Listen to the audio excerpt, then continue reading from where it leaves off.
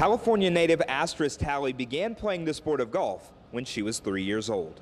You know, when my dad used to bring me out, you know, I always wanted to, and then he finally let me. This week, the fun will continue for her as she will compete in the U.S. Women's Open for the first time in her career at the age of 15. It's unbelievable, of course. You know, I've wanted to qualify forever now. I feel like I've tried to qualify for three years and it never worked out. And, you know, it's just amazing to be here for the first time, and I hope it's one of many. Brittany Lang, an LPGA Tour veteran who is set to play in her 20th consecutive U.S. Women's Open, says it shows how much the game has grown that players as young as Asterisk are able to compete with the best in the world.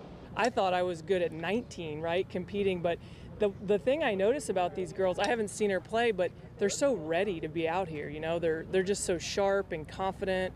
Um, and I, I don't know what that speaks to, but I just think whatever we're doing, trying to grow the women's game, is going in such a good direction. Despite being a freshman in high school who is competing in the premier championship in all of women's golf, Talley says she's treating it like any other tournament.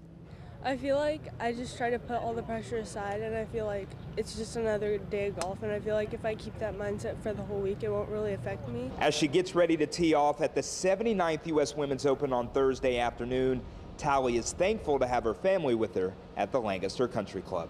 I know, like, if I miss a cut, you know, I got last place, or if I like won the tournament, it wouldn't matter either way. I feel like they're always by my side no matter what, and I feel like it's really nice to have people like that in your life. Jacob Hall, WGAL News 8.